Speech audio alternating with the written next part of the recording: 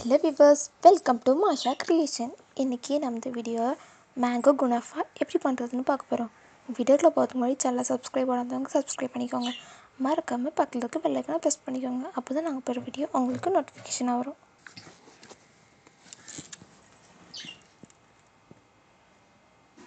ஒரு மிக்சிங் பவுல் எடுத்துக்கோங்க. அதில் சேமியா ரெண்டு பேக்கெட் எடுத்துக்கோங்க. நூற்றி நாற்பது கிராம்.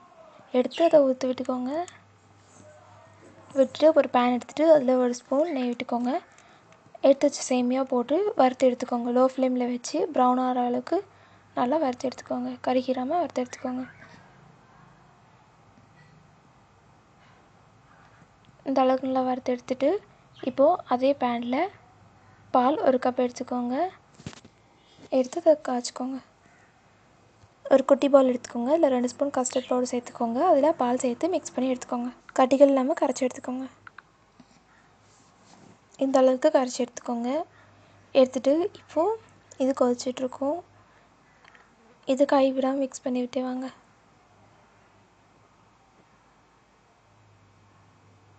லோ ஃப்ளேமில் வச்சுக்கோங்க. இப்போ நம்ம கரைச்சி வச்ச கஸ்டர்ட் பவுடரை ஆட் பண்ணிக்கோங்க.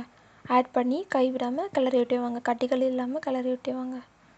இப்போது சுகர் மூணு ஸ்பூன் ஆட் பண்ணிக்கோங்க. இதையும் கட்டிகள் இல்லாமல் கலரி விட்டு வாங்க. இப்போ மாம்பழம் ஒன்று எடுத்துக்கோங்க. அதை கிரைண்ட் பண்ணி வச்சுருக்கேன். கிரைண்ட் பண்ணி பேஸ்ட் மாதிரி எடுத்து வச்சுருக்கேன். இப்போது இதை வந்து சேர்த்துக்கோங்க. சேர்த்துட்டு மிக்ஸ் பண்ணி விட்டுக்கோங்க. கை விடாமல் அதையும் சேர்த்து கிளறி விட்டுக்கோங்க.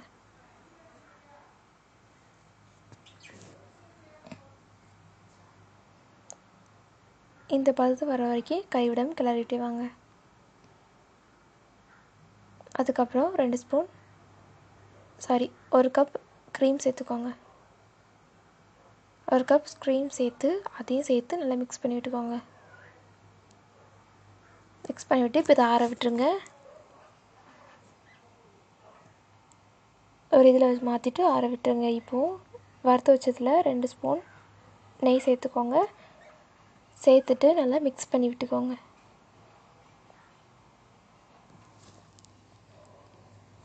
நல்லா இந்த மாதிரி மிக்ஸ் பண்ணி விட்டுக்கோங்க. இப்போ ஒரு கேக் டின் எடுத்துக்கோங்க. அதில் ஒரு ஸ்பூன் கீ சேர்த்துட்டு சுற்றி எல்லா இடமும் ஸ்ப்ரெட் பண்ணி விட்டுக்கோங்க.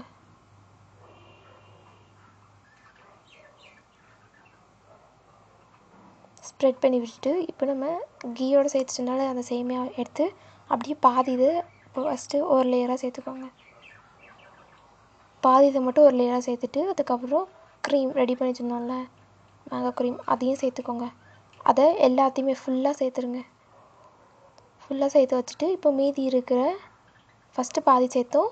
இப்போ மீதி இருக்கிறதையும் சேர்த்துக்கோங்க. சேமியாக சேர்த்துக்கோங்க.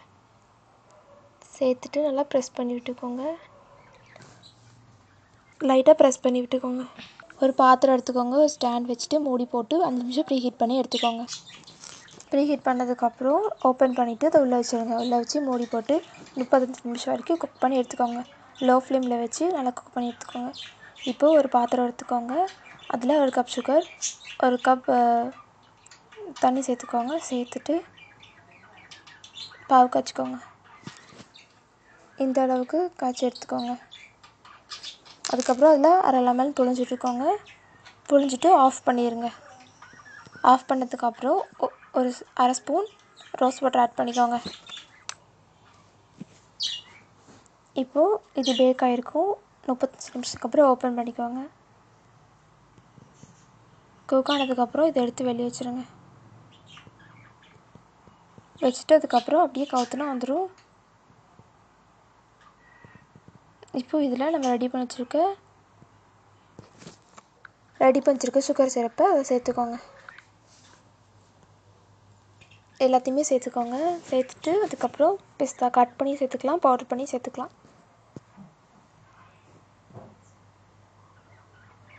பாருங்கள் எவ்வளோ சூப்பராக ரெடியாக இருக்குன்னு. எல்லாருமே கண்டிப்பாக ட்ரை பண்ணி பாருங்கள் இந்த வீடியோ பிடிச்சுன்னா லைக் பண்ணுங்கள் ஷேர் பண்ணுங்கள் கமெண்ட் பண்ணுங்கள் மறக்காமல்